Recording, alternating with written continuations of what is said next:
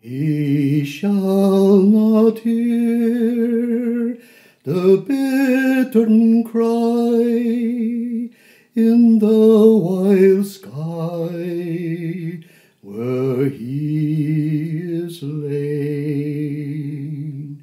nor voices of the sweeter birds above the wailing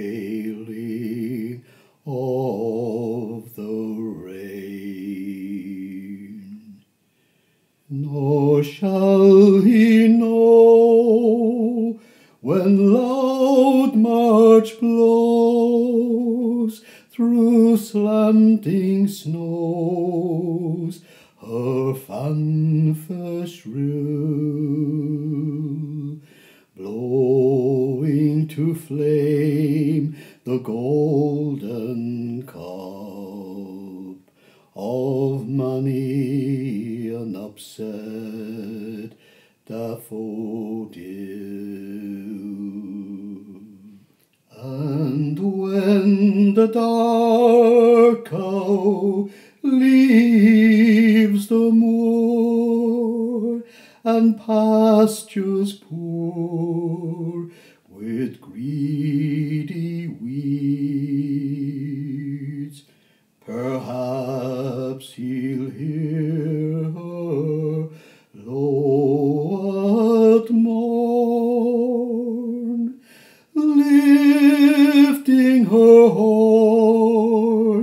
in pleasant meads.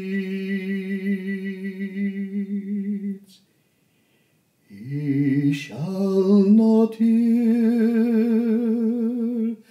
the bittern cry